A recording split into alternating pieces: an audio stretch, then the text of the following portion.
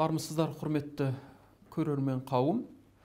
Біз, азақ, ә, біз қазақтың рухани бойтұмары абай хәкімнің 175 жылдығына байланысты хәкімнің 45 қара сөзін талдауды герменевтикалық тұрғыдан талдауды негізгі мақсұт қылып алған болатынбыз. Бүгінгі талданатын сөз ә, хәкімнің төртінші қара сөзі.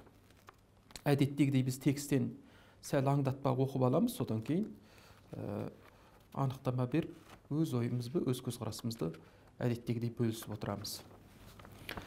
Абайдың төртінші қара сөзі.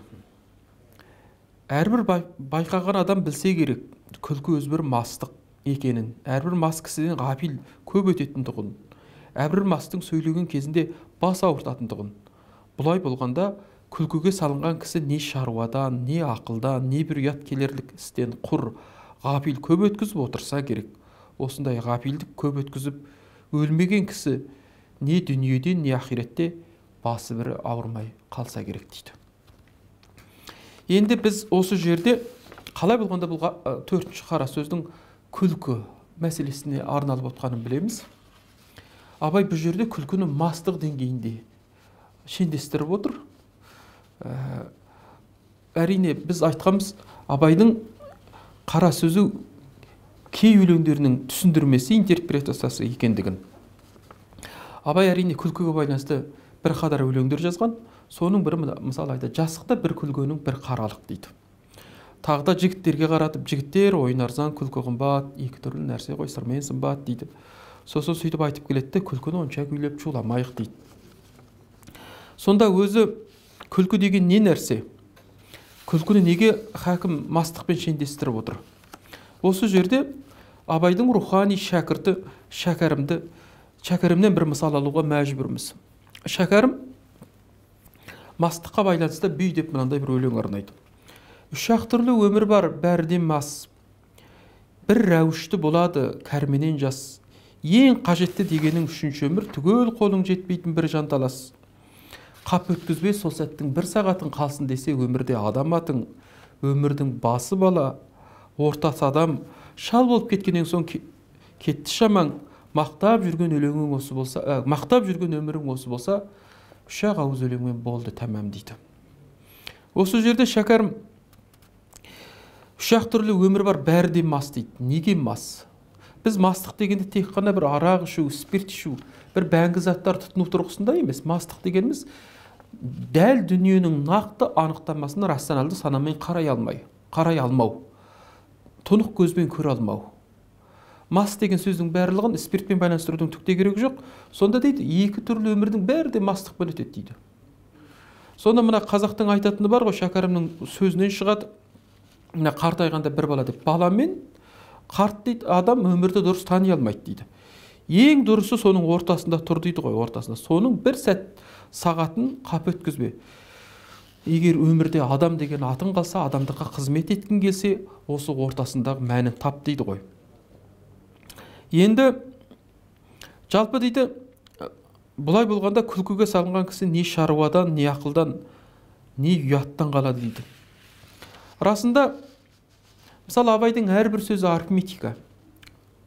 Тағы да бір өлеңінде айтады жастықта бір күлгенің бір қаралық дейді. Күлкі көрген күлкі баққан бір көрер бейшаралық дейді. Енді адам айтып отыр ғой дәлдік арифметика адам істелу керек. Егер ол істелмейтін болса міндетті түрде сіз оның зияны мен қиянатын көресіз дейді. Қазақтың абайдың осы сөзі қазақтың жастық шақта бейнет бер қартайғанда зейнет бер деген ұғым осыдан шықса керек деп мен өзім пайымдаймын. Себебі жастығын адам бейнетке құрмаған адам міндетті түрде қарттығында қиянатын көреді.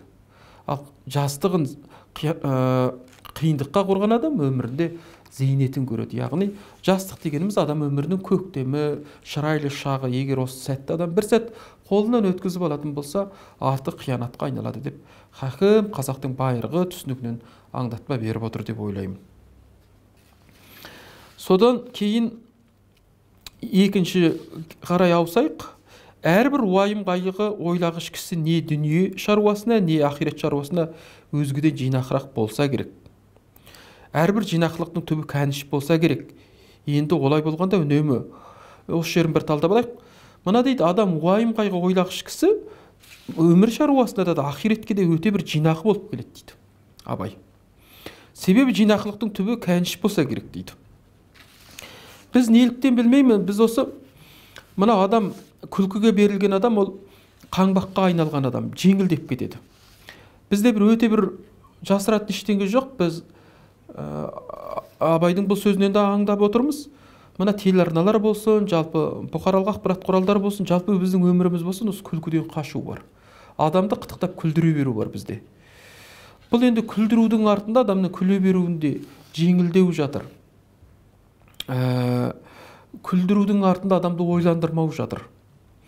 Ә, қазір дәлірек айтсақ біздің телеарналарда бір уайымдаудан қашу қайғыдан қашу өйткені қайғыны абай жек көріп отырған жоқ негативті тұрғыдан қарап жатқан жоқ. Уайым қайғы адамды есін жиғызатын дүние дейді. Абай айтады тағы да бір өлеңінде уайым ер қорғаны есі барлық дейді. Есі бар адам ғана уайым қылады екен. Қиыны бұл дүниенің қолы тарлық. Эхехехе елірме бозбалалар бұл бір күндік бұл бес күндік бір, бір майдан ерсін арлық дейді. Бір дәурен кемді күнге бозбалалық қартаймастай көрмейік ойланайық. Жастықта көкірек зор уайым жоқ дейміз бе ешнәрседен құр қалайық дейді. Сонда не дейді адамның жастығы? бір оңғақ дүние екен кірпік ұшындағы ғана ғұмыр әп сәтте өтіп кетеді дейді. Ал қартаймастай көрмейік ойланайық дейді. Бұл уақыттың қадірін білейік. Ал жастықта көкірек зор болады дейді. Бұл бірақ бұл өтмінші ғана дүние екендігін біз бағамдайық пайымдайық деп жастарға қаратып дүние айтып отыр. Сонда не дейді? Яғни ары қарай айтады хакім олай болғанда дейді енді біз уайым қажет дейді.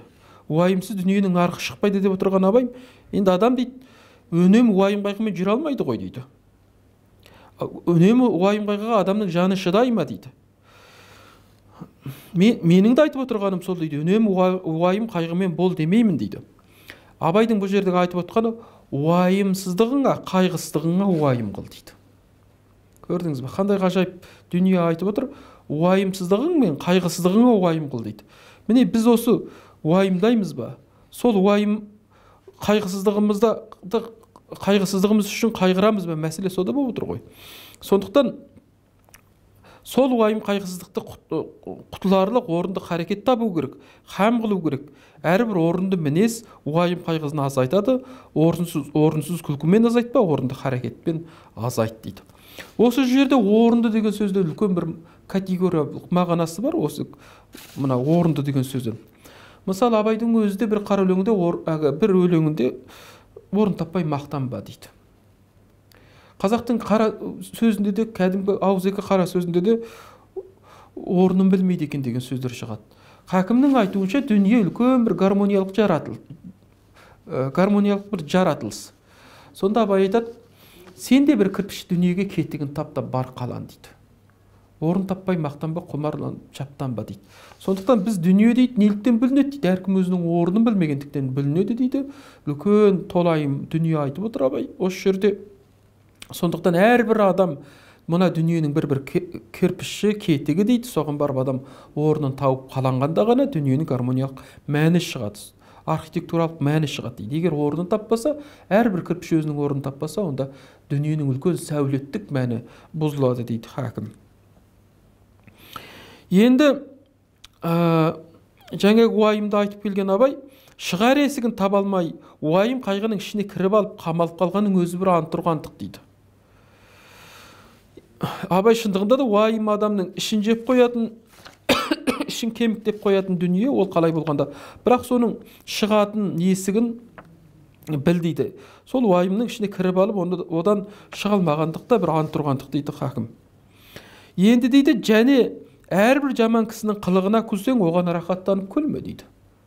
Оған ыза болғаныңнан күл дейді. Осы жерде абай екі нәрсені анықтап айтады. Ыза болып күлу бар екен рахаттанып күлу бар екен. Шындығында мына қазір біз қазақтың халіндегі руханият халімдегі болып жатқан дүниеге біз болысып күлмейміз. Қайғырып күлмейміз. Соған біз рахаттанып күлеміз. Ал шындығында да қазақтың қазіргі бір той томалақ жасап жатқандағы бір дүниесіндегі бір әлсіздігіне адам соған рахаттанып күлетіндей дүние ма анығына келгенде. Адам соған ыза болып күлетіндей дүние ғой. Ызалықтан мұрат шығады парасат шығады болсу шығады. Сондықтан абай осы жерде айтып отыр ә, ә, кісінің қылығына рахаттанып күлме ыза болғаныңнан күл дейді. Себебі ыза болып күлудің артында адамның тілеуқорлығы жатыр. Пайым парасаты жатыр деп есептеймін. Енді осы жерде айтады әрбір жақсы адамның жақсылық тапқанына рахаттанып күл дейді. Өйткені жақсылықтың жақсылығын тапқанына ғибраттанып көріп күл дейді. Міне көрдіңіз бе осы жерде абай неліктен жақсылыққа рахаттанып күл дейді. Жақсы адамның қылығына болысып күл дейді. Себебі мына жақсыны танудың жақсыны қадірлеудің нарқына жетудің парқына жетудің абай дүниесін айтып отыр. Қашан да абай айтады жақсыға жақтас бол дейді. Өйткені адам жақсының нарқын тану арқылы ғана жақсы болады. Ал жаманды шенеу арқылы одан алшақтайды деген пайымды айтып отыр. Сонымен көп көп күлкінің бәрі де көп күлкінің дейді бәрін де мақтағам жоқпын дейді. Оның ішінде бір күлкі бар дейді. Құдай жаратқан күлкі дейді. Сол күлкі адамның көкірегінен келеді жүрегінен келеді ішінен келеді дейді. Сондай бір күлкі бар дейді. Салихалы күлкі бар дейді. Ал енді бір күлкі бар дейді. Адам оны өтірік жасап күледі дейді.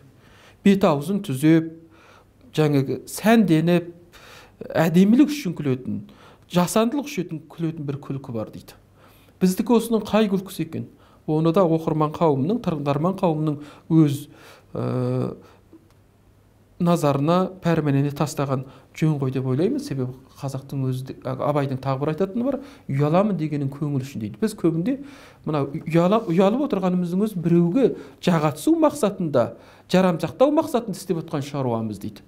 Шын, ар ұяттан ұялып отырғанымыз жоқпыз дейді көңіл үшін біреудің көңілі үшін ғана ұялып отырмыз дейді сондықтан біз көңіл жықпас болатындығымыз біреудің көңіліне қарай сөйлейтініміздің барлығында абай тамырын тап басып осы жерде айтып отыр біз қара сөздің ақырғы аяғына да тақап қалдық енді адам баласы жылап туады кейіп өледі екі ортада бұл дүниенің рахатының қайда екенін білмей бірін бірі аңдып бірін бірі мақтанып есіл өмірді ескерусіз босқа жарамсыз қылықпен қор, қор, қор етіп өткізеді.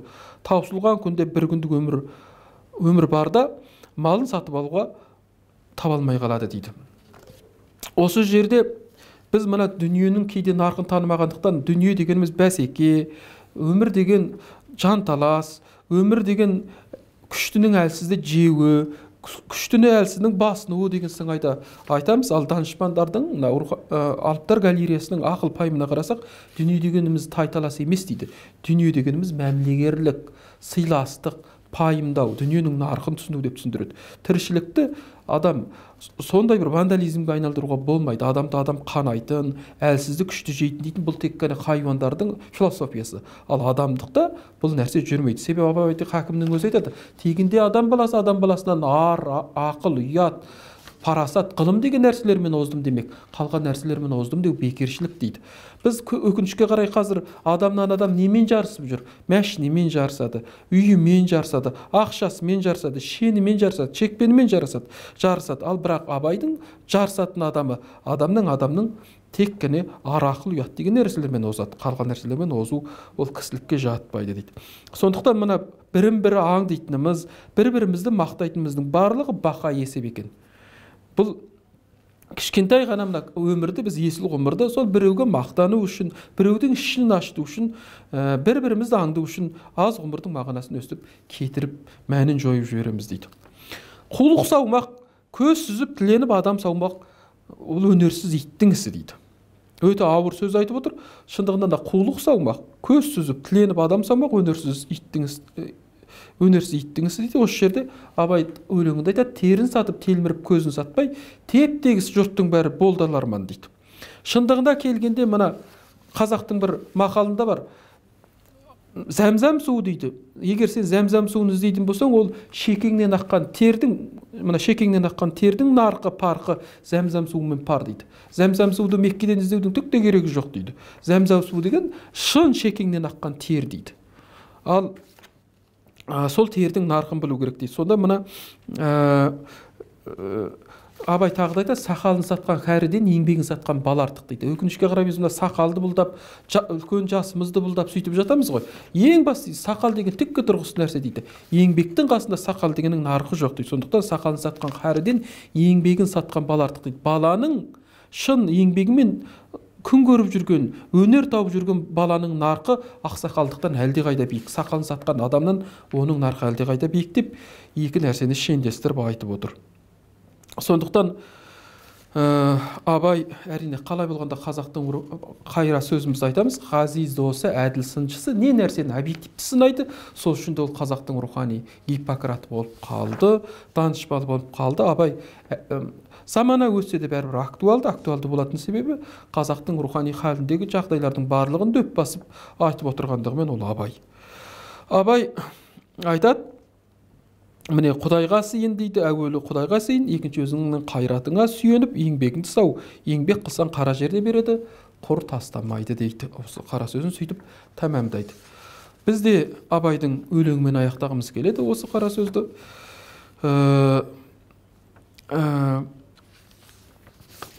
Жаңағы ә, не деуші еді құдай өзіңе сен өзіңді алып шығар еңбегіңмен ақылың екі жақтап дейді. Кешіріңіздер еңбегің мен қайратың екі жақтап дейді. Сондықтан ә, адамды құтқаратын да адамның соры да бағы да адамның өзінің ішінде адам біреуден бір нәрсені көруге болмайды. Сор да бақ та не сен бақ көтересің не сен сор көтересің қазақтың айтатыны бар істемейтін бас екі аяқтың соры деген істемейтін бас қашанда ә, бейнеттің азабын тартады. Сондықтан абай бұл жерде ә, адамның бәле-қаланың бәрі адамның өз қолында екендігін айтып отыр. Сондықтан бір ақ қана нәрсеңе сен дейді өзіңе сен өзіңді алып шығады еңбегің мен ақылың екі жақтап дейді. Біз сондықтан өзімізге сенуді өзімізді өзіміз ғана жарылқайтынымызды адамзаттың тағдыры да бақытты болуы да өз қолында екендігін түсінуді хакім мансұқтап отыр. Осымен сөз тәмам. Келесі кездескенше есен сау болыңыздар.